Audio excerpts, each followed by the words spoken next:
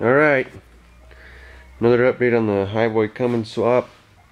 I don't know why I'm calling it a Highboy Cummins swap because the Cummins swap's pretty much done. Doing more body fucking work on this fender.